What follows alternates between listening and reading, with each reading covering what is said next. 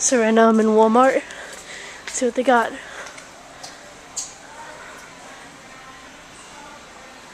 Tornado takedown, smash scene, CM Punk. Those look like a new Rumbler set. Justin Gabriel, Sheamus, Basic Undertaker. It's a nice Randy Orton.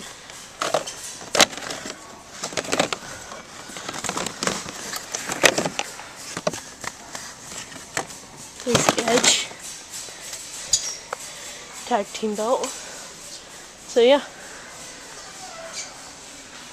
My Walmart.